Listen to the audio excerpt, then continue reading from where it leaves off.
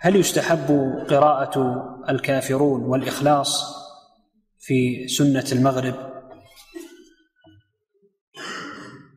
نعم لا بأس بذلك نعم